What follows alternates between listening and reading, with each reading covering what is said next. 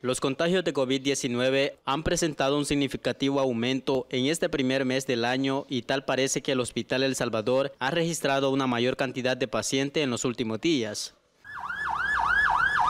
Según comerciantes ubicados en los alrededores del centro hospitalario, se ha mostrado fuerte movimiento de ambulancias que se dirigen al lugar para trasladar pacientes.